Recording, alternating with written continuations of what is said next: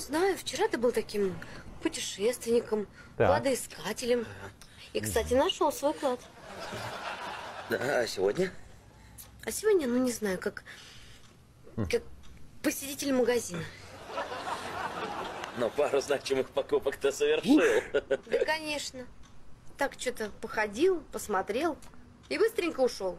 А, ох и титьки у чаечки, да? Ребята, всем здорово, Саныч.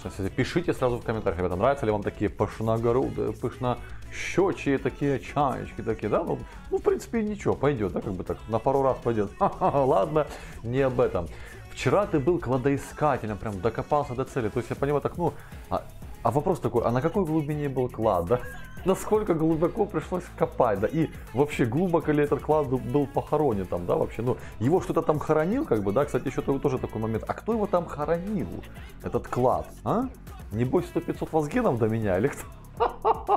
Ребята, свои предположения, конечно же, пишите в комментариях.